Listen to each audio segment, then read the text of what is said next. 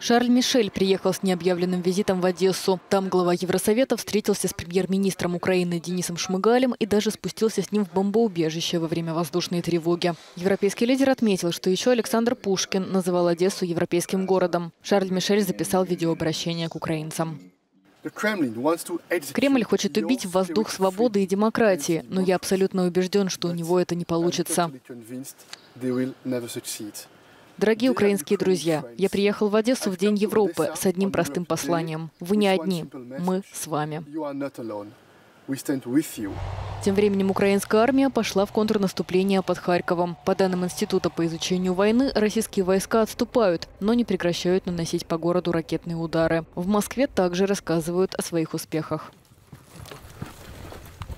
Ракетными войсками и подразделениями артиллерии поражены 8 пунктов управления – 26 артиллерийских подразделений на огневых позициях, а также 211 районов сосредоточения живой силы и военной техники.